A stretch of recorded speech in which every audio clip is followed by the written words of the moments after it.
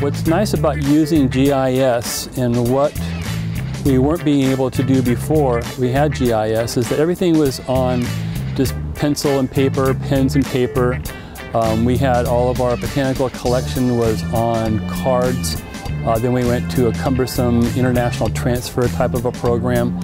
And now with the GIS software, we have all of our botanical collections in that software, in that program that's been built and it's been very easy to access the information that we have and to, uh, to help us become an accredited botanical garden because of the GIS mapping and having excellent records, to be able to, to say, here is what we have on a map, let me take you out in the field and I'm going to show you right where that is using one of our handheld GPS, and there it is.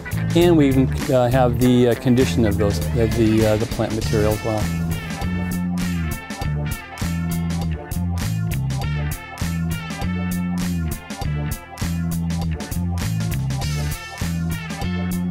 Features that we map um, at the safari park are our botanical collections, our water lines, our sprinkling systems, where are our valves for our sprinkling systems.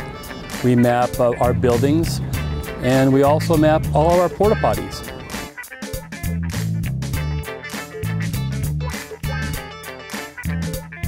Actually, one of the unintended consequences of GIS is that we developed an emergency plan. That emergency plan showed all of our routes. Uh, that was all marked in red or, re or color coded. Uh, we had signs that were uh, associated with the map that when you uh, fire trucks come in, they'll know what's going on. So what we did with it, we put those maps in the hands of the fire, local fire department, CDF, we have the back ranger station, the front entrance, our security has it.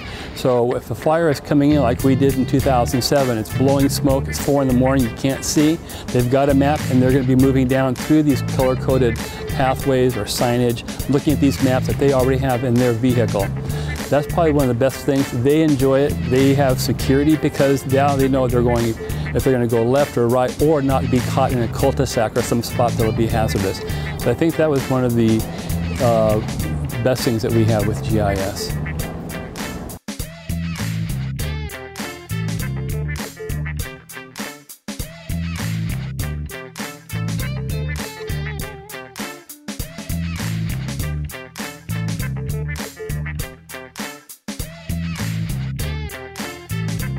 Thank you IMLS for your support.